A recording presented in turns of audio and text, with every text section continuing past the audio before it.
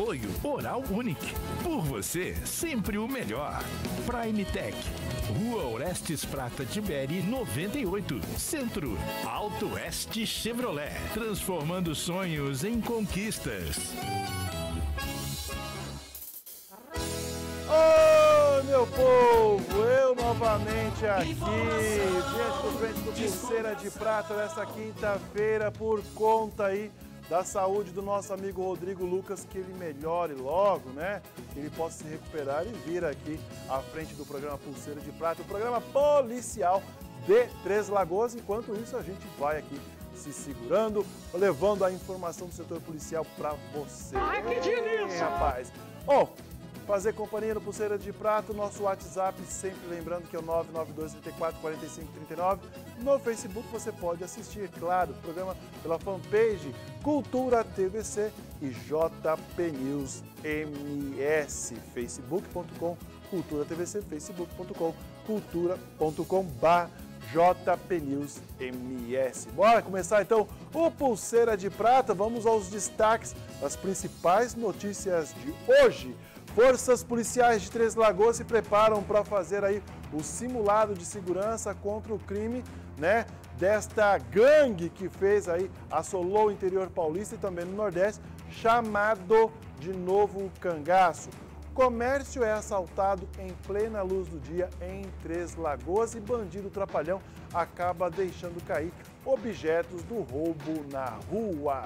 Todos os detalhes no Pulseiro de Prata já está no ar. É aqui, diretor? Pode ser então? Mais um estabelecimento comercial foi assaltado no centro de Três Lagoas. Desta vez, o suspeito anunciou o assalto e levou alguns pertences da loja. Ô rapaz, você aqui também é? Você também faz parte aqui também? Henrique aí, né? Neto, repórter policial, tem as Também informações. prazer. Pois é, meu amigo Israel. Hoje está tudo diferente por aqui, mas um abraço aí para o Rodrigo, Rodrigo e que se recupere bem rápido, né? A gente está esperando por aqui, mas é um prazer é, trabalhar com você, Israel, também aqui no Pulseira. Pois é, meu amigo. E um ladrão trapalhão aprontou uma lambança no centro comercial de Três Lagoas no início da tarde de ontem. Eu fui lá no comércio onde o ladrão praticou o furto. Vamos saber os detalhes com o próprio comerciante. No início da tarde da última quarta-feira, aconteceu um roubo na área comercial de Três Lagoas. O comércio do senhor Suede foi alvo de ladrão que tentou levar aqui alguns objetos da vitrine. Como é que foi a ação do ladrão? Bom, na realidade eu só sei porque eu estava no horário de almoço, o bandido esperou que a gente tivesse pouca gente na loja, só três funcionários, e, e pelo relato dos meus funcionários, do meu filho, ele viu que tinha, a minha funcionária estava na frente, a outra no fundo, e o meu filho também no laboratório, e ele entrou com um revólver e ameaçou minha funcionária para que ela abrisse a vitrine. Ela não abriu, ele mesmo abriu, juntou ali um punhado de relógios, saiu correndo, é, é, caíram os relógios no chão, a minha funcionária correu atrás dele e pediu por socorro e conseguiu reaver três relógios. Mas foi assim uma coisa muito rápida, né? Esse bandido também não estava psicologicamente preparado, porque notava-se que eh, notaram que ele estava muito nervoso, né? Enfim, eh, mas o prejuízo foi eh, eh, significativo. Então eu fico triste porque infelizmente os bandidos ainda estão circulando livremente nas nossas, nas nossas ruas do centro da cidade. Mas não é aconselhável o que a funcionária fez.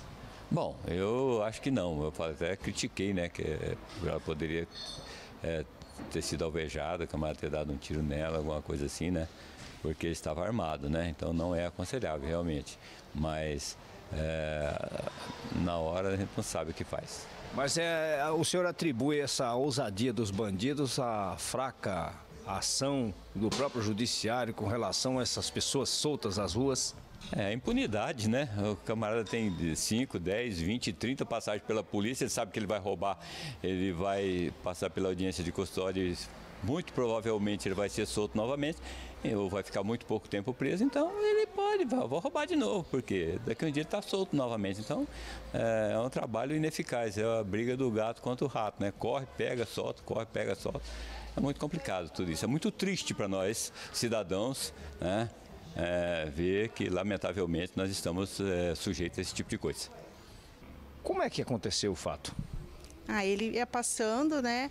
Aí ele entrou, estava sentado na minha escrivania. Aí eu peguei, levantei para atender ele, ele pegou e tirou o revólver, falou para mim que era um assalto. Aí eu peguei e sentei, né? Falei, calma, moça, é brincadeira, né?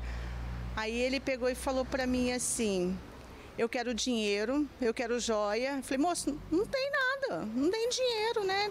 Eu distorcendo, né, que não tinha nada, para ele não entrar para dentro, né, da loja, assim, pro escritório, né? Aí ele pegou e falou assim, eu quero o relógio, abre a vitrine, né? Eu falei assim, eu não vou abrir. Né? Aí ele saiu correndo, foi abrindo, pegando os relógios, aí saiu correndo, eu vim acompanhando ele, né? Aí quando ele saiu para fora, eu fui atrás dele, correndo atrás dele. Você não teve medo do revólver? Ai, medo a gente tem, mas é, a gente trabalha, né, assim, não quer perder nada, né?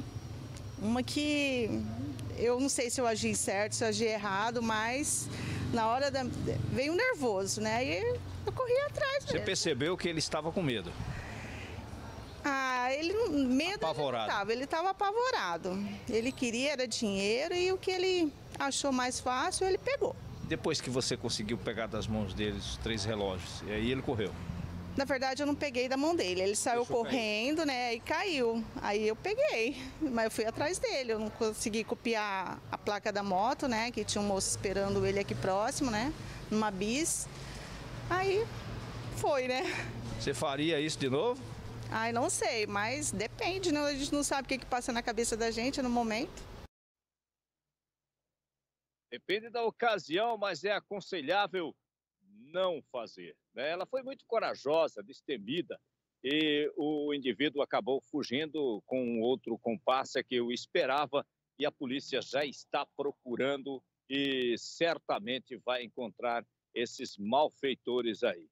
Certo, Israel? Volto com você nos estúdios. Valeu, Henrique. Muito obrigado pela sua participação. Gente, pelo amor de Deus, pelo amor de tudo que é mais sagrado, não reaja.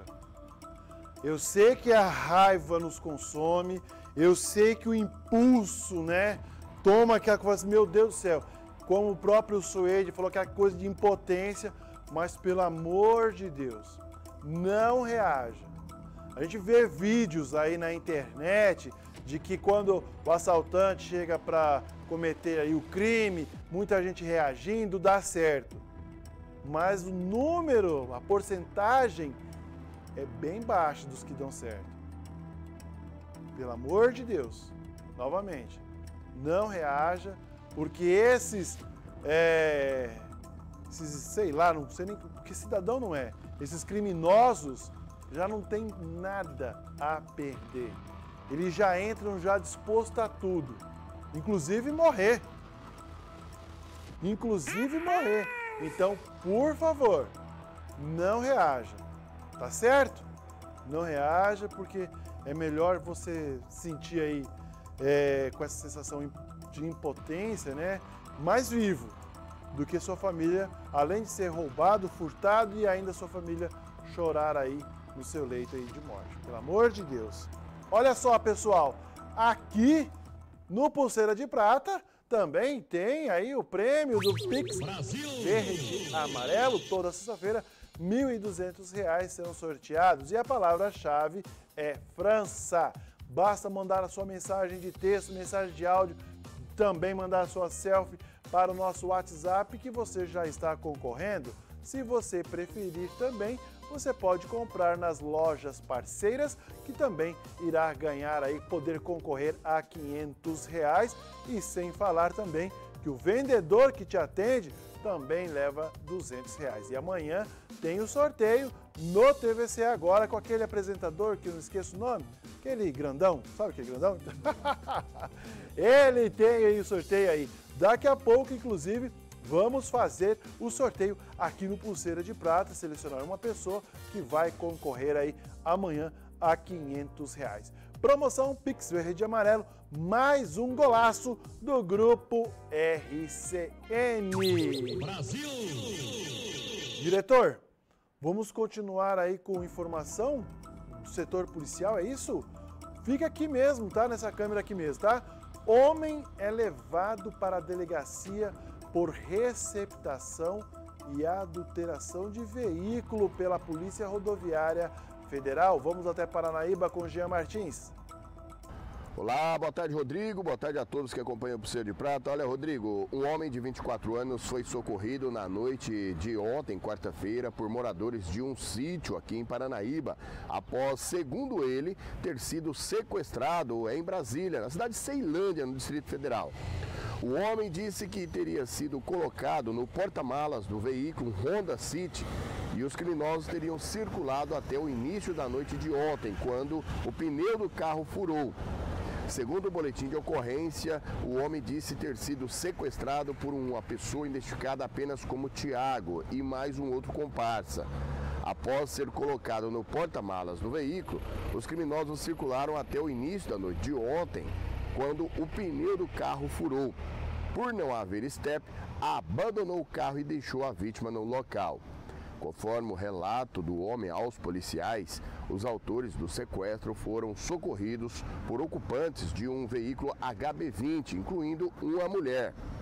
Ele correu para o mato e pediu socorro no sítio, cujos moradores chamaram a polícia. No veículo abandonado, os agentes encontraram várias placas e no sistema da polícia constava um registro de roubo ocorrido em Brasília no dia 17 de maio deste ano. O veículo e a suposta vítima foram encaminhados para a Delegacia de Polícia Civil aqui de Paranaíba pela PRF, Polícia Rodoviária Federal, e agora os agentes civis vão investigar de fato o que aconteceu, se esse homem realmente foi sequestrado, se ele tem alguma ligação com o roubo do veículo ou não. Agora já está aí nas investigações pela Polícia Civil.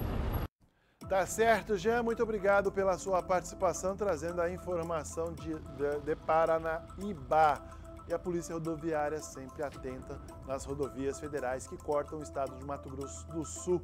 Obrigado e parabéns toda a corporação da Polícia Rodoviária Federal que tem trabalhado também junto com outras forças de segurança. A gente sempre fala que ah, para a Polícia Rodoviária Federal, mas a Polícia Civil também tem feito um belíssimo trabalho, a Polícia Militar, o Corpo de Bombeiros, enfim, temos feito aí um bom trabalho uh, aqui no estado. Ô diretor, preciso tomar água, rapaz, a garganta tá que tá, hein? Então, ó, no próximo bloco vamos falar da simulação que acontece hoje. É daqui a pouco. Pulseira de prata. A Prime Tech, cursos de tecnologia, é uma escola de profissões com o objetivo de mudar vidas. Especialista em cursos técnicos profissionalizantes em manutenção de celulares, tablets e iPhones, elétrica residencial, predial e instalação de ar-condicionado. Aulas 100% práticas e rápidas. Sabia que consertando um celular por dia, você pode faturar de 6 a 8 mil reais por mês? Tá esperando o quê? Prime Tech, Rua Orestes Prata Tibere, 98 Centro. WhatsApp 993310525.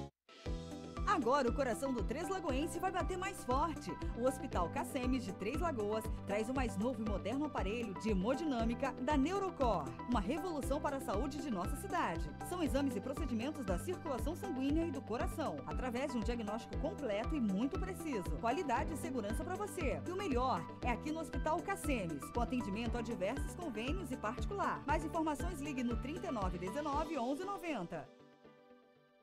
Vocês já sabem o quanto eu admiro e confio na Oral Unique. Ela está comigo não só cuidando da minha saúde, como também da beleza do meu sorriso. Na Oral Unique, você faz seus implantes em uma clínica premium, completa, com todo o conforto e com a máxima qualidade e total segurança. Implantes dentários. É na Oral Unique. Agende já a sua avaliação. Oral Unique. Por você, sempre o melhor.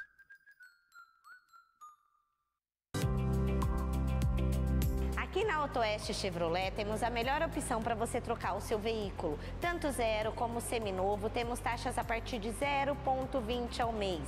Consórcio programado AutoOeste Chevrolet. Você dá o seu veículo como lance, não paga juros do financiamento e compra com poder à vista. Pensou em consórcio? Faça com um especialista, não caia em golpes. AutoOeste Chevrolet, Avenida Ranulfo Marques Leal, 1981, telefone 3221 mil. Atenção Três Lagoas. Lançamento em breve do condomínio residencial Bela Vista. Saia do aluguel. Casas de dois dormitórios, portaria 24 horas, piscinas, quiosque para churrasco, academia e localizado a 3 minutos do shopping. Entrada facilitada e parcelas a partir de 498 reais. Bela Vista Condomínio Residencial. Lançamento em breve na Olinto Mancini 1011. Whats 99911 3232. Obras iniciadas. Realização Indy Empreendimentos. Financiamento Caixa. Pulseira de prata. De volta com a pulseira de prata desta quinta-feira. Ei, rapaz, falei que era rápido. Deixa eu mandar um abraço pro meu amigo Ribamar Leite, que está acompanhando aí através do facebook.com jpnewsms e também para minha amiga Gisele Marques, que mandou inclusive uma receita aí para aliviar a tensão, né, deste mês seco. Estamos no inverno, amigo. Ah, que coisa, hein? E olha só, pessoal, a gente vai agora com mais informação do setor policial. É o Henrique? Então deixa eu virar para cá, diretor. Deixa eu falar com o Henrique Neto. Ô Henrique, é com você. Tá no jeito ou não dá? Opa! Problemas técnicos novamente. A gente vai trazer informação do setor policial com o repórter Henrique Neto, que está nas ruas, né, de Três Lagoas, cobrindo aí, trazendo toda a informação. Já trouxe a informação, inclusive, da, do roubo que aconteceu no centro. Agora sim está ele aqui posicionado. Henrique, é com você. Pois é, Israel. Ó, deixa eu contar aqui uma historinha rápida. Pessoal tem um hábito aí de anunciar na internet um veículo para vender, um carro, uma moto e tal. E isso aconteceu aqui em Três Lagoas através desses, desses aplicativos, através também desse desapega aí das redes sociais. E ontem não foi diferente. Uma jovem anunciou aí que tinha um, uma moto para vender. Aí, de repente, um rapaz interessou. E quando ele entrou em contato para ver ali o que poderia comprar, o valor do veículo era de 14 mil reais. Esse tipo de golpe, vou falar aqui, mas já foi falado. Preste atenção para não cair no outro. Pois bem, e aí então o rapaz entrou em contato lá e apareceu um tal de Felipe como sendo representante para a negociação. Aí negociou a compra da a vítima negociou a compra da moto com Felipe e dizendo que poderia ir até a residência é, da moça para retirar a moto e quando o rapaz foi fez ali um depósito de 5 mil reais e procurou então o, a pessoa para ir lá é, pagar o restante e pegar a moto de volta. Sabe o que aconteceu? Os dois descobriram que tinham caído no golpe do tal Felipe. O tal Felipe, na verdade, era um golpista. Ele enganou o rapaz e enganou a dona da moto. E aí os, ambos foram até a delegacia e agora a Polícia Civil tem todos os dados, tem a conta lá para quem foi feito o, o Pix dos 5 mil reais, para então descobrir o que, que aconteceu aí. Mas vai dar trabalho para a polícia. E pode ser que chegue até esse indivíduo, e pode ser que devolva esse dinheiro, mas também pode ser que não. Então, na dúvida, o melhor é não ultrapassar os limites. Quer comprar um carro, quer comprar uma moto? Procura uma loja, procura uma agência, procura uma garagem, procura procedência, faz uma pesquisa antes de qualquer coisa. Ou então, se vai comprar de terceiro, procura primeiro ver, conversar e ver certinho ali se o negócio é verdadeiro. Não vai entrando em qualquer barca. Muito cuidado, muito cuidado, muito cuidado, porque a coisa não é fácil. Dinheiro não está fácil para ganhar e muito menos perder assim, né?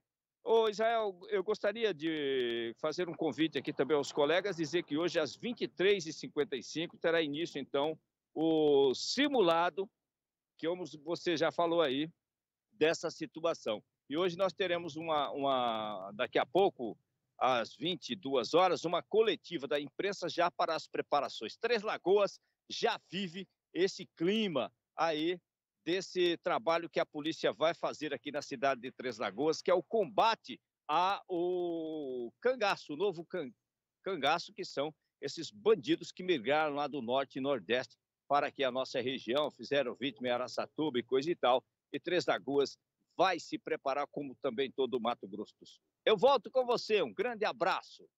Obrigado, Henrique Neto, pela sua participação. Pois é, gente, por falar neste simulado, eu não sei se vocês estão lembrados, né? No início deste ano, Araçatuba foi vítima desses criminosos que são chamados de novo cangaço. Além de Araçatuba, Botucatu, também no interior do estado de São Paulo, e uma cidade lá no Paraná também foram vítimas deste tipo de ação. Criminosos se ajuntam, fecham a cidade, sitiam a cidade, né? Estado de sítio, tiro para tudo que é lado, armamento pesado, bomba e assaltam o banco e também aí aquela a, a empresa de segurança do carro forte onde são armazenados. Bom, Três Lagoas está se preparando para dar início aí a este simulado contra esses criminosos que são chamados de novo cangaço. A Polícia Militar, a Polícia Civil, a Polícia Federal Rodoviária Federal também e o Corpo de Bombeiros, todos com o intuito de preparar os policiais e os agentes de segurança caso isso venha a acontecer uma invasão. A expressão novo cangaço surgiu no Nordeste brasileiro nos anos de 1990 e foi criada para designar as quadrilhas com ações agressivas que cercavam pequenas cidades do sertão nordestino para praticar crimes agressivos. De acordo com o comandante do Comando de Policiamento da Área 2, o Coronel Gil Alexandre, a ação tem como objetivo prevenir ataques de gangue na região e preparar os policiais para uma futura né, invasão. Deus que me livre isso acontecer. Mas se acontecer, os nossos policiais das forças de segurança estarão preparados aí para dar uma resposta de imediato. E há poucos, né? Há poucos o comandante conversou com a gente. Vocês viram as imagens, eles estavam reunidos na Câmara Municipal, já passando todos os detalhes. Tem a Polícia eh, Civil Polícia Militar, a Polícia Militar Ambiental, todo mundo já se preparando, porque daqui a pouco começa já essa simulação em vários pontos e se estende até as 23 horas e 59 minutos. Vamos conferir então aí com o comandante.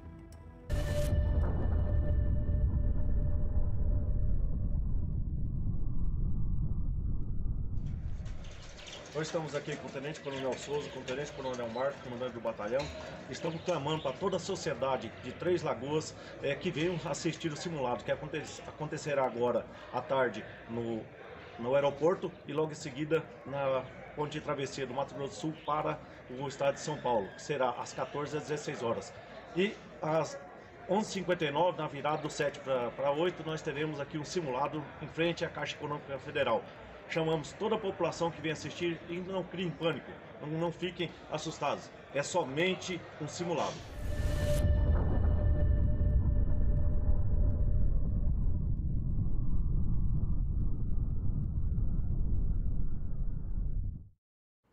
Agora, vem cá, tô pensando uma coisa aqui. Sempre tem o desavisado, né? Sempre tem. A gente tá cansado de falar dos golpes aí que acontecem e o pessoal ainda continua caindo. Ou seja, desavisado. Imagina, imagina, o bandidão hoje, eu vou cometer um crime hoje. Pá, sai na rua, hã? E dá de frente com a tropa de elite da Polícia Militar. Rapaz, e olha, já pensou? O bonitão lá, vou cometer o crime e pá, dá de cara. Ó aqui, ó. Os rapazes aqui da farda camuflada, urbana. Hã? Já pensou? Nossa senhora! Coisa boa, hein? Nossa, já pensou, cara? Vou meter um louco, hoje eu meter, você é louco, meter um louco. E tá, dá de cara com a polícia militar. Então, a partir de hoje, às 14 horas, daqui a pouco, começa então essa simulação durante a tarde e às 23 horas e 59 minutos Meia-noite, né, comandante? Pô, então vamos arredondar logo para meia-noite. Tem a simulação aí de uma suposta invasão a uma agência bancária, bancária e também a suposta invasão da Casa de Valores, onde tem aqueles carros de segurança, né, blindados, para agir. Então, não passa de uma simulação. A Polícia Militar vai estar aqui em Três Lagoas. A Força Tática, o batalhão. Olha aqui as imagens, ó. É isso aqui que aconteceu. Isso aqui é de Aracatuba, hein? Foi isso aqui que aconteceu em Aracatuba. Isso aqui é cidadão de bem. Isso aqui é cidadão de bem. E aqui está o criminoso, ó, fazendo de escudo. E eles assaltaram. Armamento pesado, tiro, bomba, assalto a banco. Tem mais imagens aí, diretor? Pode colocar aí que a gente vai ver se tiver mais imagens dessa ação desses criminosos que são chamados aí de novo cangaço. Eles agem vários, são vários criminosos, cercam a cidade e atuam de várias frentes. Atacam aí o posto da Polícia Militar, enquanto isso já tem uma outra pessoa já agindo lá na agência bancária e um terceiro agindo no coisa. Então, realmente são pessoas perigosíssimas. Olha as imagens, gente, são imagens chocantes. Você que acompanha os telenoticiários, né, os telejornais, você se lembra que eles fizeram aí em Araçatuba, próximo de Três Lagoas, e também Botucatu, foram duas cidades do interior paulista que esse novo cangaço agiu e também no interior do estado do Paraná. Gente, são imagens realmente imagens que impressionam. Deus que me livre que aconteça uma coisa dessa aqui em Três Lagoas. Não quero que aconteça, mas se tiver que acontecer, a Polícia Militar do Estado de Mato Grosso do Sul já vai ter uma resposta de imediato. Então, hoje acontece essa simulação aqui em Três Lagoas. Já pensou? Criminoso meteu louco e dá de cara o BOP, é a força tática. Os caras só estão em treinamento. Tá com sangue ali, ó, a mil. A caveira velha tá louca pra. que coisa, hein? Todas as informações dessa, dessa simulação você acompanha amanhã no RCN Notícias, também no TVC Agora e, claro, aqui no Pulseira de Prata. Diretor, para mim já deu, tá? Garganta tá que tá. Meu amigo, ótima tarde e até amanhã. Ah, um sorteio, desculpa, diretor. Tem um sorteio, rapaz, tava esquecendo. Sorteio aqui no Pulseira de Prata para amanhã, 500 reais. Opa! Não acredito! Gisela Marques, Vilas Boas, lá do Santa Luísa. Você acaba de ganhar aí ah, o direito de participar amanhã no TVC Agora. Ó, oh, já pensou? 50% já garantiu. Amanhã tem o sorteio dos 500 reais. Gisela, parabéns. Ó, amanhã fica ligado no TVC Agora, a partir do meio-dia tem o sorteio do Pix Verde e Amarelo. Um golaço. Tchau, gente. Apoio Oral Unique. Por você, sempre o melhor. Prime Tech. Rua Orestes Prata Tiberi 98. Centro. Alto Oeste Chevrolet. Transformando sonhos em conquistas.